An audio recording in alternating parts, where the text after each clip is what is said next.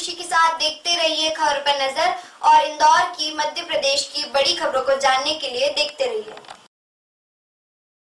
कांग्रेस की तरफ़ से कांग्रेस पूरी सोई हुई बीस साल यहाँ पर। आप मान के चलिए मैं आपको इस बात की उचित ज़िम्मेदारी से उदाहरण दे सकता हूँ। अभी हाल फ़िलहाल उपलब्ध इस सारे विषय को सारे विषय को पहले मिनट से लेकर के यहाँ सर जब कमलनाथ जी स्वयं आए थे हमने ही उसकी याचिका करी वो कहा है? दिलीप कौशल हमने तम सख्त कार्रवाई होना चाहिए जिससे उन लोगों को वापस नहीं लाया जा सकता लेकिन कम से कम एक एग्ज़ाम्पल यहाँ पर सेट किया जा सकता है कि भविष्य में और किस प्रकार की कोई घटना तो शासन की अनुमति नहीं मिली है वो हमारी सत्ता आने के बाद में हम उसके ऊपर निश्चित रूप से कार्रवाई जो उचित होगी करेंगे अठारह साल के कार्यकाल में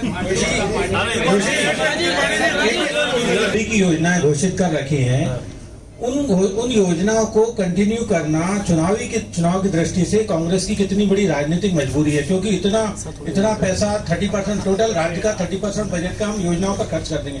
तो ये कितनी बड़ी मजबूरी है, खासकर पॉलिटिकल इस समय?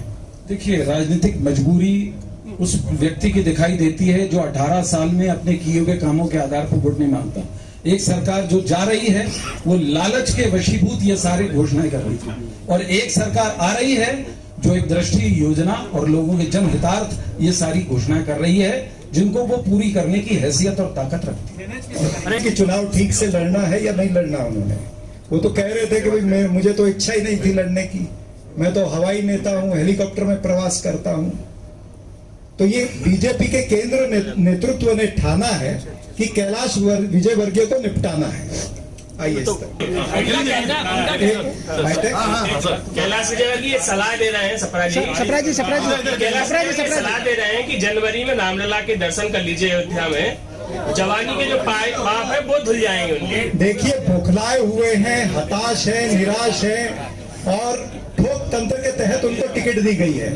लोकतांत्रिक तरीके से नहीं दी है ज़बरदस्ती दी गई है उनको टिकट। तो हताश व्यक्ति इस तरह की बातें करेगा हमें दर्शन करने होंगे हमारी पर्सनल आस्था है हम निश्चित रूप से वो करेंगे लेकिन कैलाश विजय वर्गीय के टाइम टेबल से नहीं होता वो। अंकल देव अंकल। अनूप इधर आ जाओ पंडित जी जाओ। लो पंडित जी आ जाओ। अरे।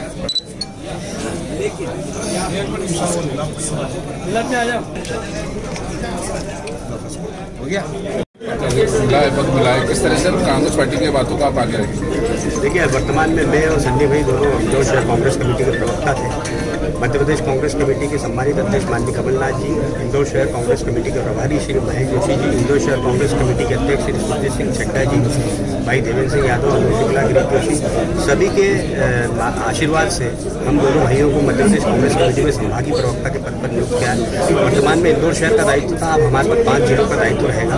निश्चित रूप से पार्टी की रीति नीतियों को जन जन तक पहुँचाने का काम हम पूरी ताकत से करेंगे। पहले भी कार्य शहर में कर रहे थे अब संभाग स्तर पर करेंगे। भारतीय जनता पार्टी की नीतियों को उनकी विफलताओं को जनता तक पहुँचाने का भरपूर प्रयास हमारे द्वारा किया जाएगा और जन जन तक कांग्रेस की आवाज़ को पहुँचाया जाएगा। मैं प्रदीप खंडेवाल संभागीय प्रवक्ता मध्य प्रदेश कांग्रेस कमेटी। सभी प्रदेश नेतृत्व का आभार व्यक्त करता हूँ। श्री कमलनाथ जी के निर्देश पे श्री के के मिश्रा जी ने जो मुझे संभागीय प्रवक्ता पद पे जो नियुक्त किया है, उनका मैं आभार व्यक्त करता हूँ। जिस तरीके से मैंने शहर, यूथ कांग्रेस एन सेवा दल और शहर कांग्रेस में रहते हुए जो पूरी निष्ठा के साथ कांग्रेस का कार्य किया है इसी तरह हम दोनों विवेक खंडेलवाल में हम सभी सुरजीत सिंह चड्डा महेंद्र जोशी जी विनय वाकलीवाल जी और देवेंद्र सिंह यादव जी और जितने भी सभी वरिष्ठ नेताओं के मार्गदर्शन में पूरी निष्ठा के साथ हम कांग्रेस की रीति नीतियों पे काम करेंगे और निश्चित तौर पर कांग्रेस की सरकार बनने जा रही है और हम भी हमारी तरफ़ से पूरी तरीके से निष्ठा से कार्य करेंगे। मैं सन्नी राजपाल संभागीय प्रवक्ता मध्य प्रदेश कांग्रेस। कांग्रेस जिस तरीके से निष्ठावान कार्यकर्ताओं को अपने आने वाले विधानसभा चुनाव के अंदर कार्य करने का मौका दे रही है, यह कार्यकर्ता निष्ठावान के साथ साथ ही कांग्रेस के प्रति लगातार पाँच साल से नहीं, बीस साल से संघर्ष कर रहे हैं। आज दोनों भाइयों को जो आज ये संभागीय प्रवक्ता का दायित्व मिला है, आने वाले समय में मुझे पूरी उम्मीद है कि ये दोनों भाई पूरी ताकत के साथ में कांग्रेस की बात पूरे पाँच जिलों में अपनी बात रखेंगे। मैं दोनों भाइयों को बहुत बधाई मैं अनुज शुक्ला।